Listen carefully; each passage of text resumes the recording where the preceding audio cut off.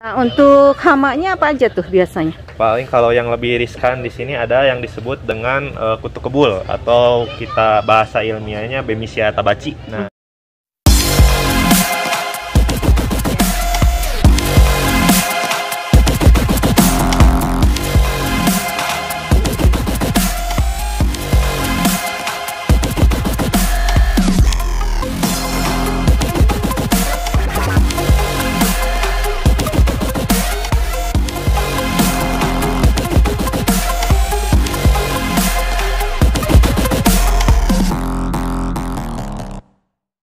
Assalamualaikum, selamat sore, selamat bertemu lagi di Butani Channel. Sore ini kita sedang berada di uh, perkebunan hidroponik uh, buah-buah buah-buahan. Uh, salah satunya buah melon ya di sini. Melon di sini memang bermacam-macam. Ada melon uh, apel, ilonis dan ini uh, honey. honey, melon honey atau uh, apa melon madu ya melon ini bentuknya yang sudah siap panen sebesar ini ya? Ya, sebesar ini bulat. Uh, rata-rata sekitar satu kilo ada ya? Ya, satu kilo. Sekitar satu kilo. Jadi ini adalah Pak Oki petugasnya di sini, uh, di mana uh, ini menggunakan uh, irigasi tetes ya. Jadi untuk uh, apa penyiramannya di, tidak dibutuhkan disiram seperti tradisional karena di hidroponik jadi ini menggunakan uh, apa stick. stick seperti ini dan dia sudah uh, uh, untuk nutrisinya juga sudah dialirkan ya. secara otomatis seperti ini jadi untuk sementara untuk uh, dari semai sampai dipanen Berapa lama itu? Kalau untuk melon apel ini sekitar 59 hari atau 60 hari. Ah maaf, ini bukan melon apel kan? Eh, melon honey atau melon, melon madu. melon, melon madu. madu. Uh, berapa? Berapa uh, 59 sampai 65. 59 sampai 65 hari. Ya. Jadi dari uh, pembibitan biji, dari ya. biji kemudian kita benihkan dulu. Kemudian setelah uh, berapa hari dipindah ke sini? Uh, 14 hari. Setelah 14 hari, hari dipindah uh, ke tempat hidroponiknya. Kemudian nanti selanjutnya uh, dia akan tumbuh. Setelah tumbuh kita gunakan eh, kawat-kawat uh, seperti ini ya? Tambang. Tambang seperti ini supaya uh, melonnya itu tumbuh merambat. ke atas merambat ke atas. Karena memang kecenderungannya buah melon semangka itu merambat. Uh, kenapa kita tidak uh, dibiarkan di lantai? Karena nanti biasanya bentukannya kurang ya, bagus ya, ya bentukan buahnya tidak bagus. Kalau ini kan bagus bentuknya bulat. Jadi kita menggunakan ditarik sampai ke atas. Jadi e, memang Pak Oki ini dia mengikuti pertumbuhan tanaman. Jadi e, semakin dia tiap hari semakin ini diikat sampai ke atas sampai tinggi gitu. Nah untuk panen itu uh, kira-kira uh, berapa kilo ini? Yang ini satu kilo seratus kurang lebih ada. Eh, satu kilo seratus ya. Bobotnya. Bobotnya. Ya. Kalau untuk uh, di hidroponik tetap ada hama ya? Uh, tetap untuk uh, masalah hama dan penyakit itu tetap masih bisa masuk tergantung dari uh, bagaimana cara kita merawatnya atau mengendalikan dari hama dan penyakit ya.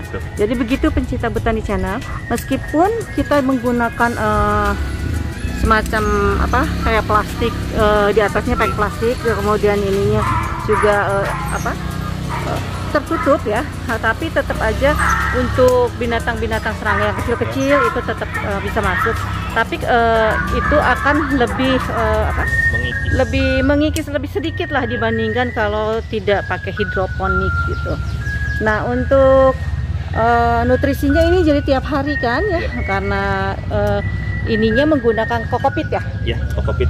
Jadi ini kita gunakan kokopit. Medianya, medianya ini harus disterilisasi iya. dulu. Nanti baru bisa digunakan dan dipindahkan gitu ya. ya. Oke, kita ya. sekarang hari ini mau panen karena ini hari udah ke, ke 59. Ke 59. Meskipun ini ada nggak semua ya, nggak sem nggak ya. semua rata. Nggak semua rata. Nggak semua rata. Itu dari satu pohon berapa banyak? Uh, dua.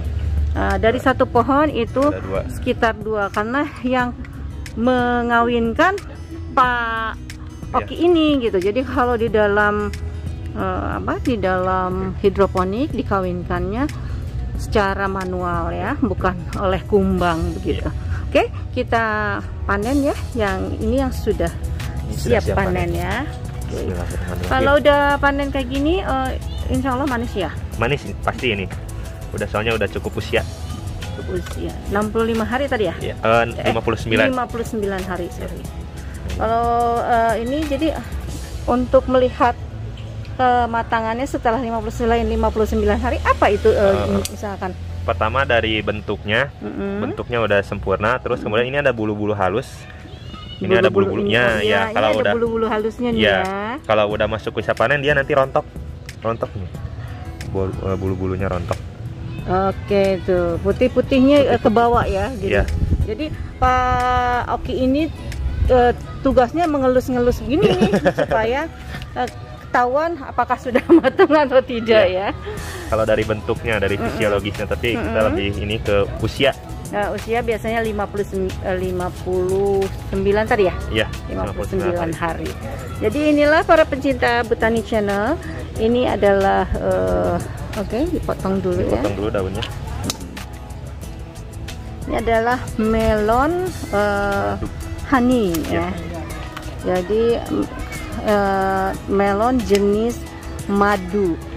Meskipun kebanyakan biasanya melon tidak seperti ini, biasanya kan uh, ya, ada coraknya kan ada ada yang bintik-bintik uh, gitu ya. ya. Nah, ini kalau untuk uh, melon madu atau honey melon itu bentuknya putih seperti ini mulus ya mulus.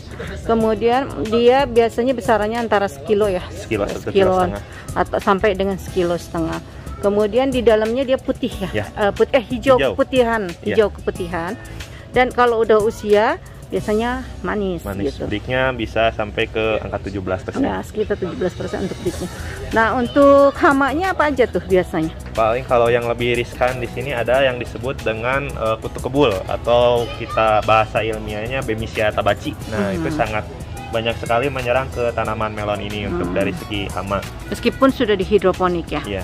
Jadi uh, kalau begitu tetap di uh, obat ya, tapi tidak. Uh, tidak kita tetap melakukan perawatan baik itu menjaga uh, kelembaban dari daun itu dan uh, apa mengikis si serangan hama itu kita biasanya pasang yellow trap ya. ya karena tanaman udah ya. tinggi hmm. dan dekat ke panen kita dicopot aja karena itu mengganggu ke daunnya. Oke. Okay.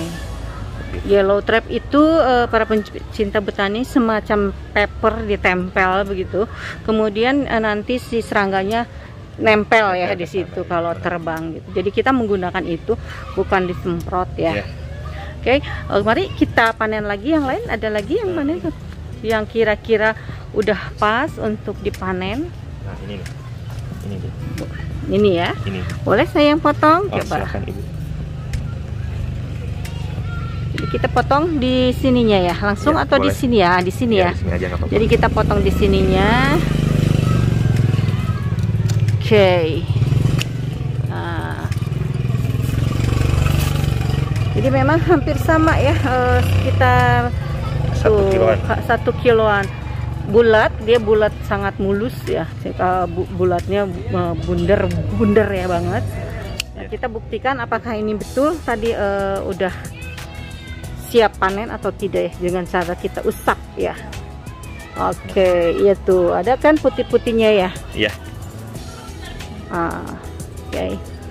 mungkin begitu untuk uh, melon han, uh, honey glow honey melon ya atau melon madu uh, dari perkebunan uh, farm Wangun Sari. Oke, okay, terima kasih. Mungkin ini bisa menambah ide atau menambah kecintaan kita terhadap tanaman dan buah-buahan lokal untuk bibitnya ini bibit lokal ya. Terima kasih sudah menonton Botani Channel. Semoga ini bermanfaat. Jangan lupa ya like subscribe dan share ya. Oke assalamualaikum. Semoga sehat terus